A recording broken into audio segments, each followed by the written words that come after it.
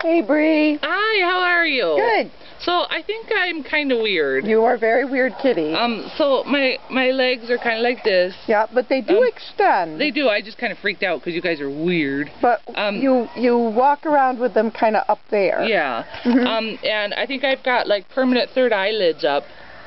yeah. What yeah. do you think about that? I, I think we have some eye stuff going on. I'm Yeah. not sure what it is. Um, and and you, I think you've been terribly mistreated. I think so. But I was lucky to be here. and and you're getting better. I am. You know, before I like kind of hid in a corner, but Mhm. but look at the look there goes that ear. Can we Oh. kind of stand you up? Oh, okay. Oh, well, I guess someone could stand me up if they wanted to. Mhm. Okay, here we go. And kind of sideways. Oh, oh, it's kind of difficult with an uncooperative kitty. Okay, there. Maybe how's if we that? had four hands helping. There, well, I, how's this for standing? Well, that's good. You're kind of gonna walk a little. Can you walk a little? No, I don't wanna. You think you're weird kitty? Yeah.